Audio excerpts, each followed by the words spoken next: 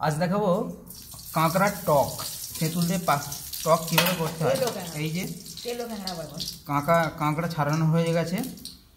এরপর কড়াইয়ে তেল দিয়ে তেলটা গরম হয়ে গেলে কাঁকড়াগুলো হালকা করে ভেজে নিতে হবে।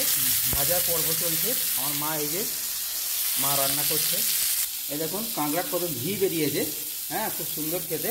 এই যে কাঁকড়া ভাজা হচ্ছে। আর কাঁকড়া একটু ভাজা হয়ে গেলে ওই যে পাকা তেঁতুল জলে গোলা ছিল সেই গোলা জলটা তেঁতুল গোলা জলটা দিয়ে দিয়েছে। এরপর একটু ফুটবে। এবার একটু সামান্য নুন দিয়েছে তারপর সামান্য একটু হলুদ। হ্যাঁ প্রায় আধ ঘণ্টা বা পনেরো মিনিট ফুট- ফুটে যাওয়ার পর সেই ঘিগুলো দিয়ে দেওয়া হচ্ছে। এরপর আর প্রায় মিনিট পাঁচেক ফুটে যাওয়ার পর নামিয়ে নেওয়া হবে এবং গরম গরম ভাতে পরিবেশন করতে হবে। দারুণ লাগে খেতে টক। আমার ভিডিওটি ভালো লাগলে লাইক কমেন্ট শেয়ার করুন। ধন্যবাদ।